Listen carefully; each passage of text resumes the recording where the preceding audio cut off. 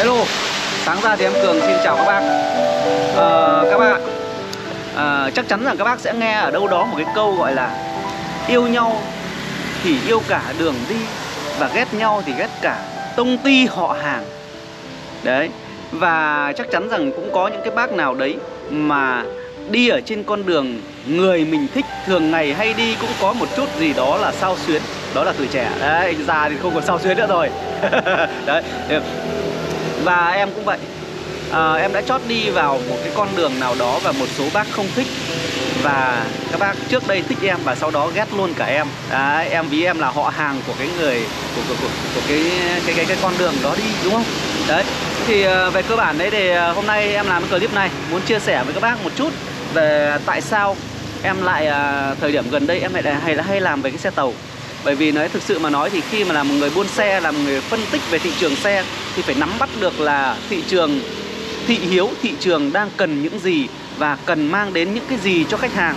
Có thể với cái xe tàu không là một cái gì đấy với một số bộ phận khách hàng, nhưng họ lại, nhưng nó lại là một cái gì đấy cho, là đó là sự quan tâm cho những người quan tâm đến cái xe tàu, hay nói cách khác là xe Trung Quốc nếu bác nào theo dõi em thì sẽ thấy được rằng là con Q7 này em mua trượt. Không phải là mua trượt mà là em không mua. Đấy, em đi từ Hà Nội sang Bắc Ninh em xem nhưng mà em không mua là bởi vì sao? Không ngã giá được. Thế nhưng mà các bác có biết vì sao mà hôm sau em vẫn phải xuống phi xuống em mua một lần nữa không? Là bởi vì em cân đối rất là kỹ. Em muốn có một cái um, series về cái xe của Trung Quốc. Là em muốn là chia sẻ với những cái bác và những cái anh em đang quan tâm đến xe Trung Quốc là cái con xe tàu nó như thế nào. Đấy, nhiều người rất là mơ hồ là xe tàu là nó như xe máy ngày xưa hay là như đồ tàu về chưa dùng đã hỏng.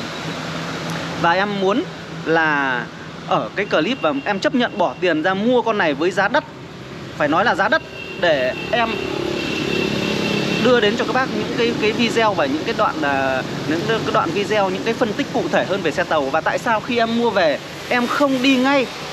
Các bác ạ tại sao khi mua con xe tàu về mà em không quay video chi tiết về nó ngay, mà em phải đi em trải nghiệm và em đi đâu đó cũng đã 2.000 cây rồi.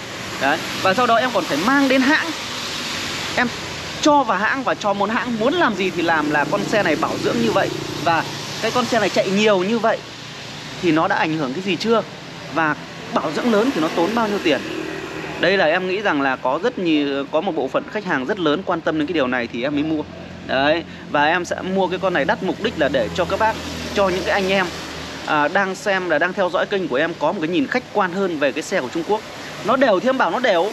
À, nó ngon thì em bảo nó ngon. Và nó chi phí bảo trì bảo dưỡng đắt thì em bảo nó là chi phí bảo trì bảo dưỡng đắt.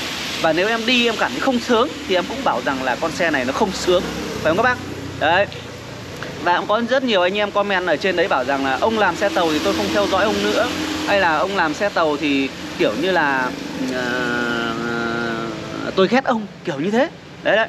Thế nhưng mà đối với em là một thằng buôn xe. Là một thằng buôn xe em phải nói thẳng với các bác là là một thằng buôn xe nhấn mạnh lại lần nữa. Và cái xe tàu nó cũng là cái xe. Đấy nó lãi em làm. Đấy, nhiều bác lại bảo là thôi chết rồi chú nói chú lãi là làm là dở rồi. Thế thì, thì bây giờ em là thằng buôn xe mà lãi không làm thì, thì bây giờ làm thế nào? Thế chẳng nhẽ là mua xe tàu về bán lỗ thì các bác mới vui đúng không? Đấy thì cái điều đấy là cái điều mà có rất nhiều anh em là quan điểm của các anh em. Đấy là mình không trách gì anh em cả không trách gì các bác cả đấy vì đấy là cái quan điểm của bác.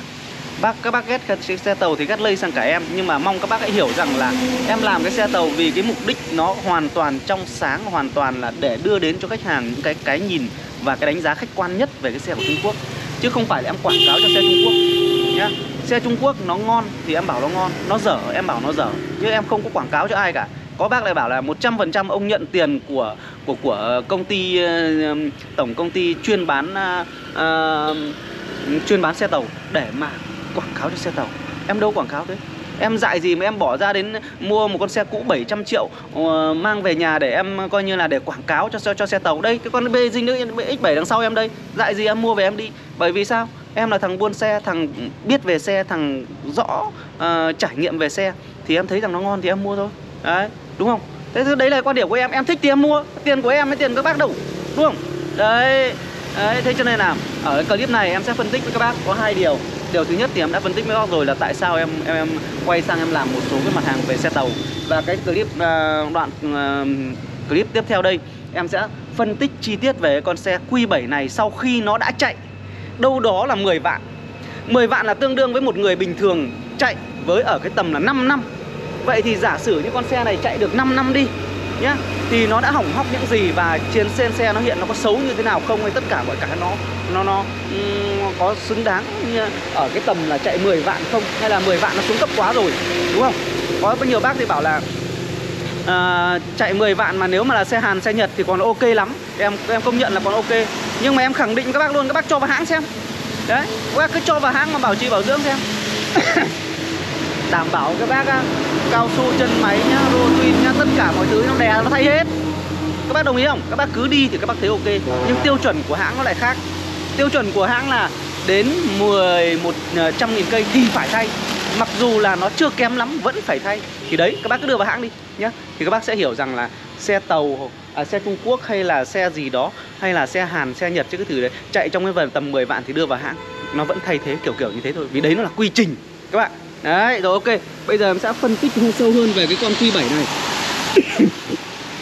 Thì ở đâu cái clip này chắc chắn là các bác theo dõi con này sẽ hỏi em bán con này là bao nhiêu. Con này là thuộc đời 2019 Đấy 2019 và chạy 10 vạn rồi nhá. Nó là con hãng của Trung Quốc là Basic Q7 Và nếu mà nói về về về phân tích về cái độ uh, uh, ổn định hay là cái độ lành Thì con này lành hơn con Yoti Z8 Bởi vì con Z8 nó quá nhiều công nghệ thì các bác cứ bảo rằng là con này là cái con mà nó uh, nhái Trung Quốc. Nhưng thực sự thực sự thật mà nó à, xin lỗi các bác không phải nhái Trung Quốc. Nhái Land Rover hay là nó nhái những cái sản phẩm khác. Nhưng không sao nó cứ nhái mà nó đẹp. Đấy là quan điểm của cá nhân em. Nó nhái mà nó đẹp là em sẽ làm là em sẽ mua đúng không? Bởi vì là phải biết học hỏi từ người khác. Mình đã ngu mình không biết rồi. Mình không làm đẹp hơn được người ta rồi thì mình phải học hỏi của của người ta đấy thì cái cái form dáng này thì là nó là cái form dáng uh, lấy từ theo em thì nó từ con Land Rover ra từ cái đầu và tất cả những cái khác thì cái điều đấy. Đối với cá nhân em thôi còn đối với những cái bác thì em không rõ. Nhưng đối với cá nhân em thì điều đấy là không quan trọng. Em chỉ thấy rằng hiện tại nó đang đẹp ok. Đấy la răng của nó là răng năm chấu rất đẹp nhá. Đấy. Đó. Cái logo của nó là ừ, bạn bạn này bạn mua là tất cả logo tất cả là bạn đều để nguyên con này thì khi mà em mua ấy, thì nó có va chạm nhẹ một tí ở đây. Đấy va chạm nhẹ tí cái phần này đây cái này bị vỡ này. Đấy, các bác thấy không? Đấy thì à, em sẽ có cái ảnh kèm vào đây cho các bác để xem các bác à, biết cái mức độ xấu đẹp và mức độ của nó va chạm nhẹ ở đây. Đấy.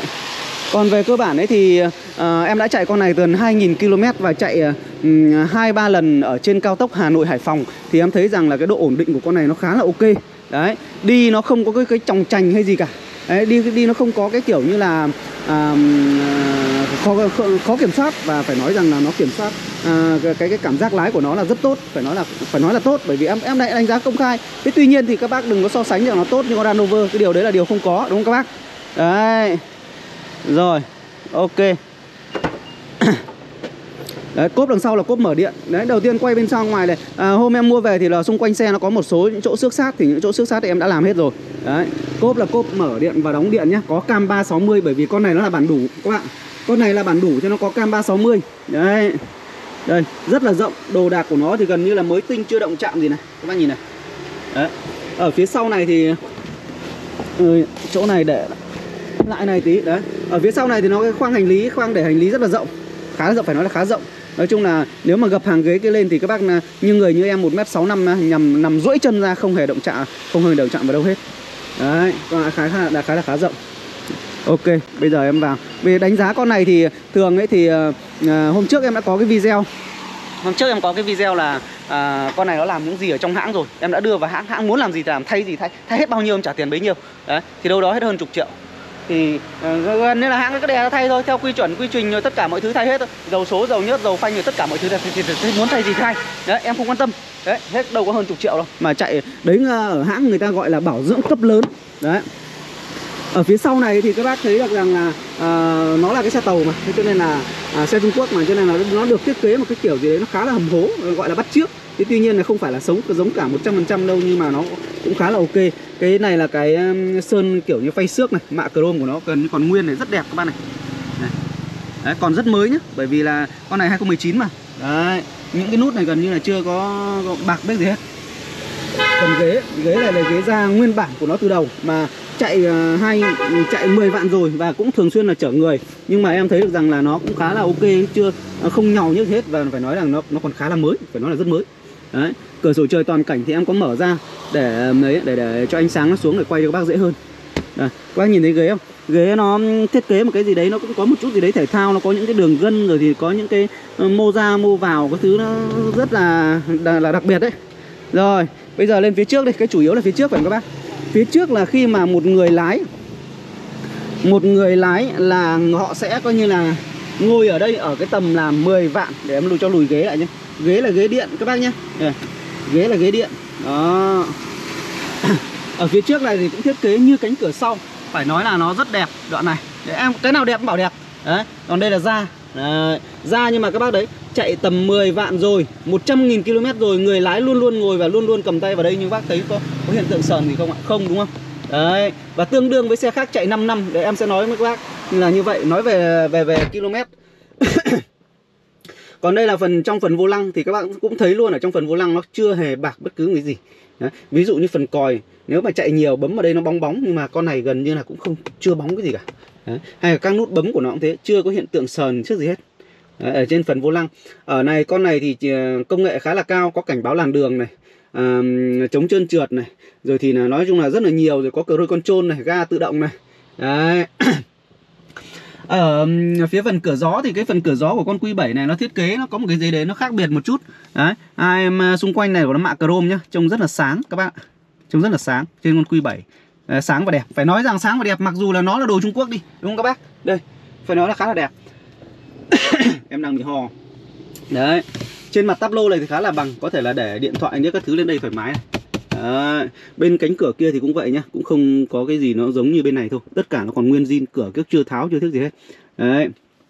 Còn ở phần à, điều khiển ở chỗ tay này, thì các bác sẽ thấy nó có một cái gì đấy nó hơi hầm hầm hố một chút, đúng không các bác? Đấy. Nhưng mà theo em ấy thì nó thiết kế bằng cái nhựa à, bằng cái nhựa sơn bóng như thế này thì nếu mà ai không giữ ấy, thì nó rất dễ bị xước. Bởi vì là có vị trùng chìa khóa cho nó quẹt qua đây một cái thì nó sẽ gây nên xước cái mặt bóng như thế này. Đấy. và rất nhiều những cái tính năng để có thể uh, quay ở trên cái cái uh, để các bác có thể nhìn thấy.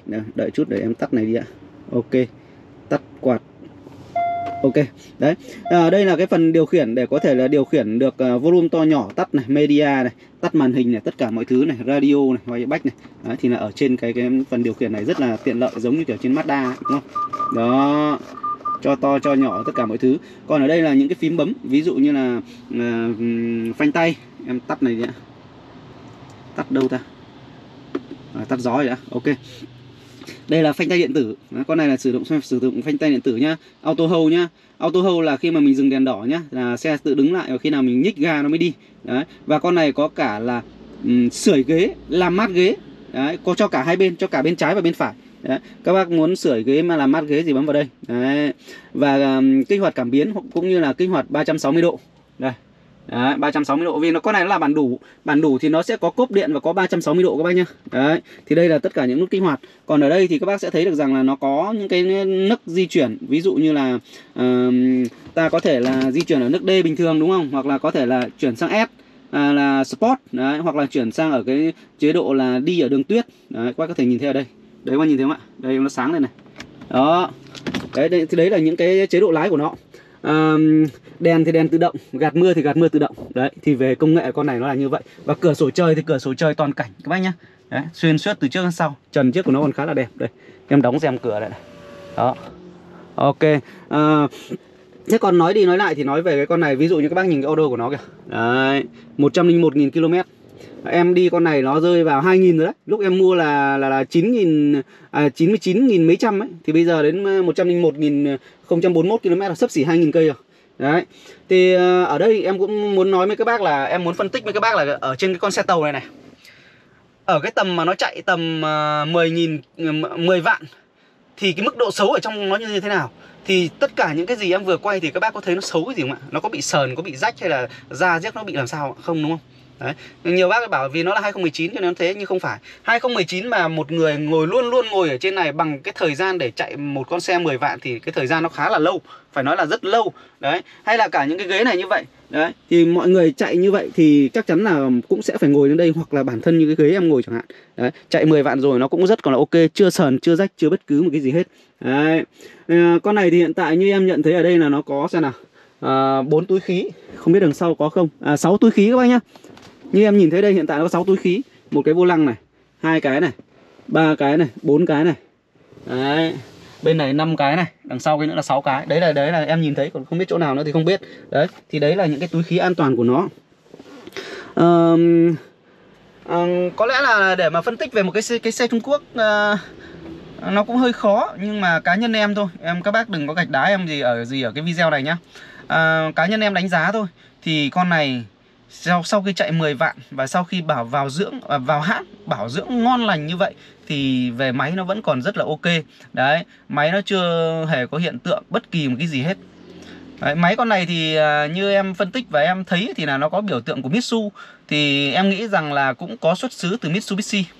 Đấy còn nếu như mà không có từ Mitsu hoặc là tự nhiên ăn cắp cái logo của của người ta mà bỏ vào đấy là vỡ mồm ngay bởi vì đấy là bản quyền thương hiệu rồi phải không các bác?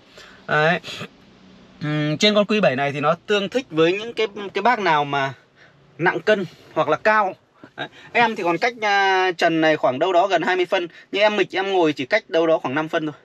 Đấy bởi vì em thứ nhất cao hơn em Cái thứ hai béo, mông dày. Thế thành ra là nó độ yên cao. Thế cho nên là em ngồi như này thì các bác sẽ thấy được rằng là nó hơi lọt thỏm một chút Nhưng với những người cao to thì nó sẽ là rất là phù hợp. Đấy à, Ví dụ như em mịch. Còn cái con xe này nó được thiết kế với cái độ hầm hố, độ cao, tất cả mọi thứ là nó dành cho những người to cao phải nói thế. Còn nếu những người bác nào đó mà tầm năm 60 cân 50 cân mà ngồi nó tụt lủm dưới này đấy không không à, không hay. Đấy thế thì à, các bác nhìn từ bề bề ngoài đến bề trong của nó thì sẽ thấy được rằng là nó nó nó thiên về cái sự hầm hố. Đấy bởi vì là à, nó nhái và bắt chước những cái dòng khác nó hiện đại hơn à, những cái dòng à, kiểu như là à, đã có thương hiệu rồi ví dụ Land Rover đâu vùng gì đấy đấy ví dụ như em nói từ đầu ấy. Đấy. Rồi ok nhỉ? À, có lẽ rằng là Em thì cũng không phân tích nhiều về cái xe này cho lắm. Em chỉ coi như là chia sẻ được một phần nào đấy về độ đẹp Còn về độ độ độ uh, lành và độ ổn định Thì anh em à, đã từng chạy con này rồi Thì cho em xin một comment là con này độ ổn định nó ra sao hay là độ lành nó thế nào? Như em thấy được rằng là à, sự đánh giá thôi chứ. Em, em, tất cả là cũng chỉ là em nghe nói. Tất cả là là em nghe nói là à, à anh em bảo rằng con Q7 này nó lành hơn con con con, con Z8 thì đấy là anh em nói. Em thấy một điều là anh em bảo rằng nó sẽ đi nó lành hơn. Cái thứ hai cái thứ nhất cái thứ hai là đi nó êm ái hơn con Z8 bởi vì con Z8 là giảm sóc hơi cứng. Như các bác nào theo dõi em thì thấy hôm trước là rằng là em có quay về con Z8 thì giảm sóc hơi cứng đấy thì uh, cuối clip em sẽ quay lại cho các bác một lần nữa về con Q7 này. Đấy về con Q7 này. Thì uh, con này thì ờ, em đang chào bán với cái giá uh, chỉ gọi là lộc lá cho các bác thôi là 435 triệu cho con đời 2019 các bác nhé đây 435 triệu. Biển Hà Nội. Đấy, bác nào mà trải nghiệm uh, xe tàu thì có thể là xe Trung Quốc thì có thể là à, tận dụng con như thế này. Em đã làm xong cái cái à, clip cả về à, đánh giá cả về tất cả mọi thứ liên quan đến con này rồi. Ok các bác xin chào các bác hẹn gặp lại các bác ở những clip sau.